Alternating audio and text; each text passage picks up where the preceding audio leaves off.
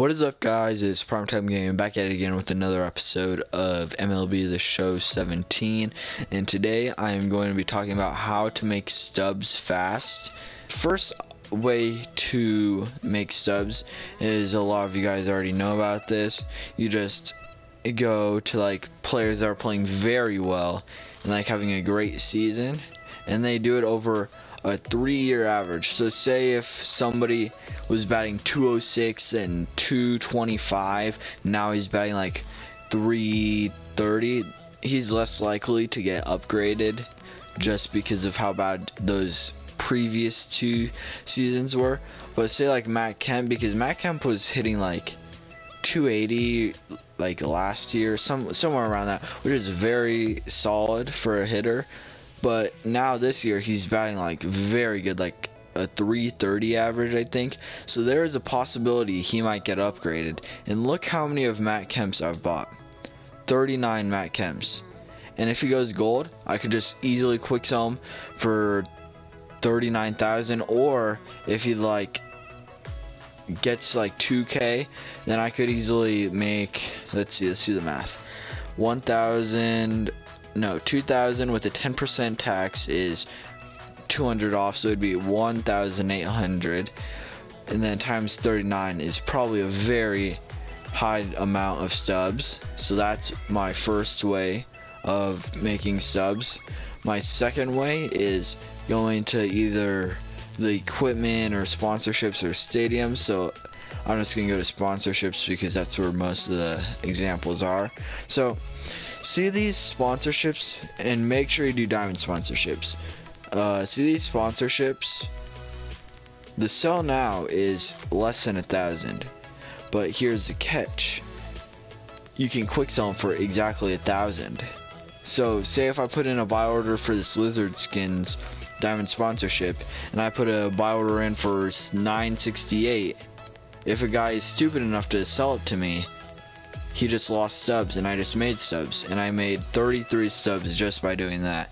And you can put in a maximum amount of I think 20 buy orders at a time. So you can like fill out this whole thing. But make sure you guys do not get like the 989s or the uh, 991s and 980 is kind of pushing it but I mean it's not crazy bad. Make sure you guys want to go for uh, the 960s, 970s because that's where you will be making the most stubs.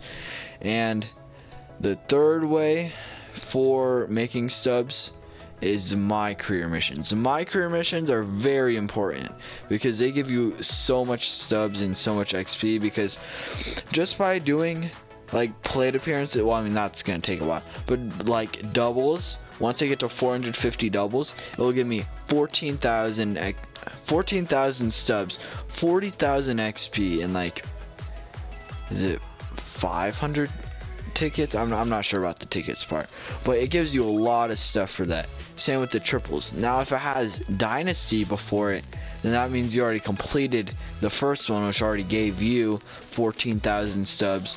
So this for the diamond or dynasty would give you 9,000 stubs and then is it 25,000 XP for it? I'm not sure about how many tickets.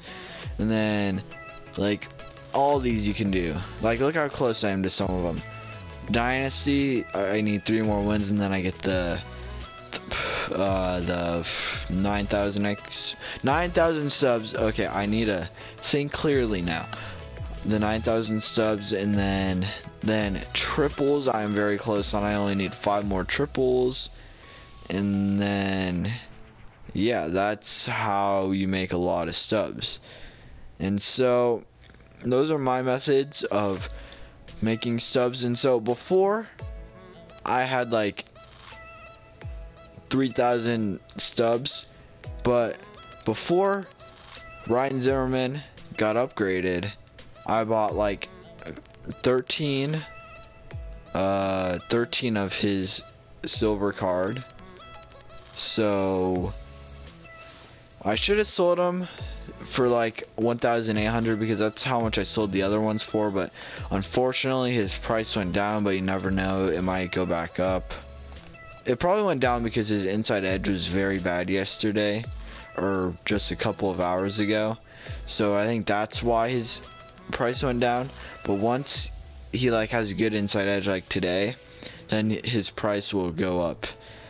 But that is going to wrap up the video. I hope you guys enjoyed and I hope you guys make some subs off of these tips and I will see you guys next time.